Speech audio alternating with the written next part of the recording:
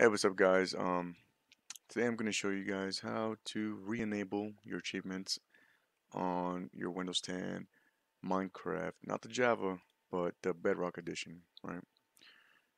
We'll go ahead and open her up, and as you can see here, I did this early today, the 24th. Um, I got the three achievements uh, that was just showing off. Um, one we're going to try to get, or what we're going to do, is we're going to go ahead and get uh, bodyguard. There it is, the iron golem, right? So what we're going to do is uh, go into our survival. And yes, this is way cheating, but um, hey man, that is what it is. You know, people want to do this for whatever reason they want to do. So we're currently in uh, survival. We'll go ahead and uh, change this to creative. Um, activate cheats. And achievements cannot be earned in this world. Alright, that's cool.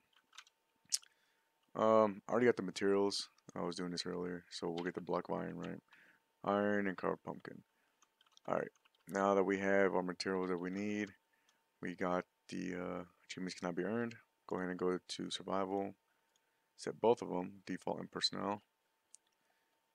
Deactivate the cheats. Save and quit and we're going to go ahead and completely back out of this right? Go ahead into our link down in the description bedrock. Go ahead and click open download it and it's right here. So go ahead and open it up. Hit file open. The world whatever it is you want to edit. We're going to go into level data scroll down to where it says game type, double click, enter zero, and this is the what we're looking for. Has been loaded in creative. One in this binary, one means yes, zero means no. It is what it is. Um, change it to zero players, and I do have a lot of players in my world, so I'm gonna go ahead and uh, change them all. If it was just you, you know, there'll only be one player, but I do play with some friends. So player game mode, change that to zero. Second one, zero. Third one, zero. Fourth one, zero. And you you can change your um, anything else that is you want to change in here, like your level, as you can see right underneath, level 25. Um, you can even add stuff to their inventory, right? Uh, but not really going to do that. Um, that's kind of the whole thing we're looking for here. Once again, we're going to go to level, scroll down to game type, change that to zero, has been loaded in creative, zero. Save, it's going to take a little while to save. Go back into our games, open up Minecraft.